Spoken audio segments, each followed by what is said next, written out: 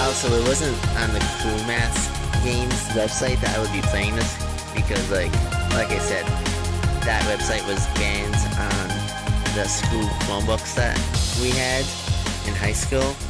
So what me and like one of my friends did was we went to the Chrome web store and just downloaded downloaded like a bunch of like unofficial like like extensions that had like a bunch of games on it. Like Crazy World 3D, this game, like people people.io or whatever. Just like a bunch of like, you know, games that can play on a Chromebook for free.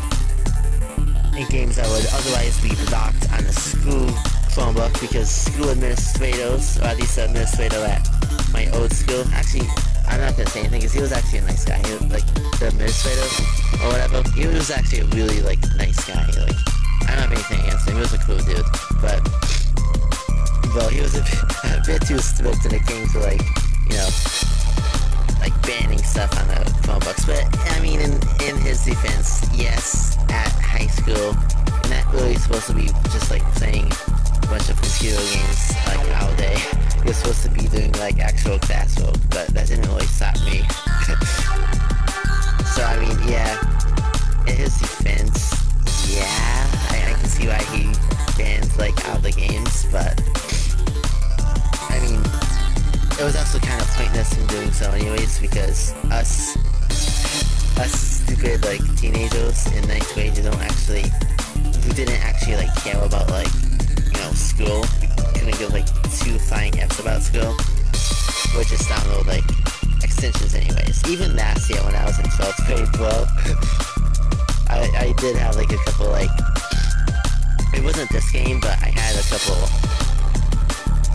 like slope extensions and stuff that were like workarounds. They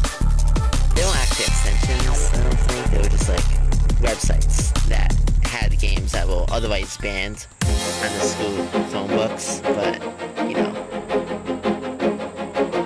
I, I,